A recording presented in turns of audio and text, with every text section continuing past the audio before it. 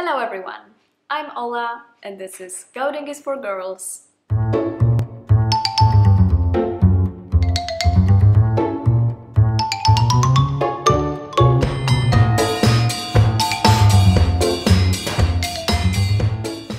Today I'm gonna give you some homework. I prepared for you two exercises that you will be able to solve using things we already learned about Python. If you missed any of my previous video, make sure to look at the playlist I created. There will be a link in the description below and watch it first. Learning Python syntax is one thing, but similar to all natural languages, if you're not using the language, then you don't really know it. So the most important tip I have for you is to exercise, exercise and exercise as much as you can. I have two programming challenges for you. You can try only one of them or both of them and you can make them as detailed as you wish. In a week or so, in my next video, I will show you an example program that is solving these exercises. So you would be able to compare your solution with the one I propose to you. The idea here is that you have a chance to solve the problem on your own without seeing how I did that and try to figure out it on your own using the tools we already know and syntax of Python we talked about. And the thing with programming is that there is no one and only one possible way to fix something or to solve a problem. There are many things you can do in different ways. This is the same with natural language. You can communicate something using different sentences and different words, but the meaning will be pretty much the same. So the main challenge here is to make your program work. Okay, challenge number one. Since I moved to UK, I'm super confused with imperial units. For me, it's natural to use metric system, but sometimes I just need to convert things from centimeters to inches and from inches to centimeters, and I never remember how to do that. My first challenge is writing a program that does exactly this. First, your program should ask user to provide the number of inches. Then it should wait for user to type the number and click enter. Then it should take the value and convert it into centimeters. As a quick hint, 1 inch is 2.54 centimeters. And the tip here is not to use integer numbers in Python, but decimals. Then it should print answer. And you should replace number and result with the calculated values.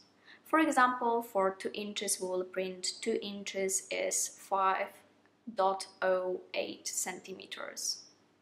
Okay, this is the first challenge.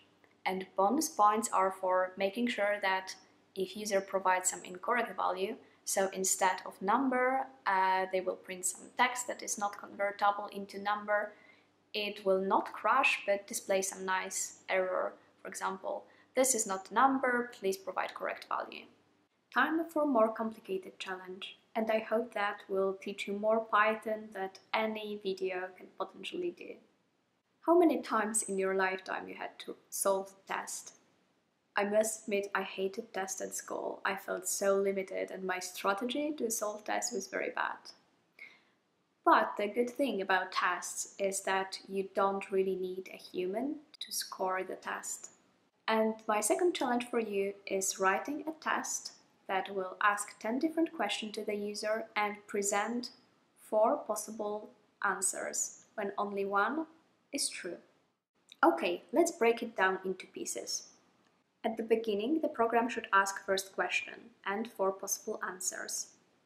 For example, what Python keyword is used to start defining a function? 1. def 2. func 3. var 4. function. Then it will wait for user to type 1, 2, 3 or 4. Then, second question is displayed, and it waits for an answer then third, fourth, and so on. When user answers the last question, we should take all answers and check against the correct answers and calculate the score. and you should score 1 if user answered the question correctly and 0 otherwise. Finally, you display the result. Are you excited? I hope you are and you will not wait any longer and just sit down with your code editor and start to program the first challenge. I'm sure it will be frustrating at times, you will get stuck, there will be different kinds of errors that you haven't seen so far, but this is exactly the point, to learn how to deal with that, with the moments when you don't know what to do. If you are stuck, make sure to watch all my videos very carefully.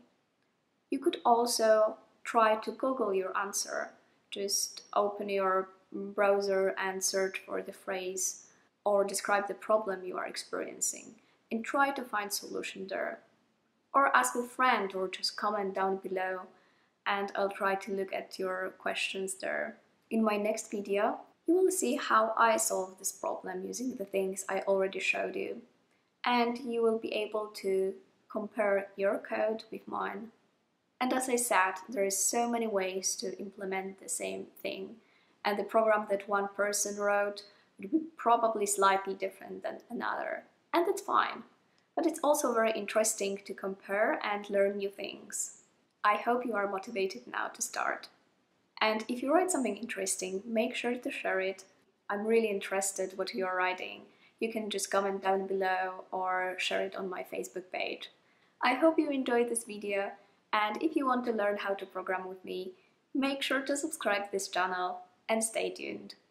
Have a lovely day and see you!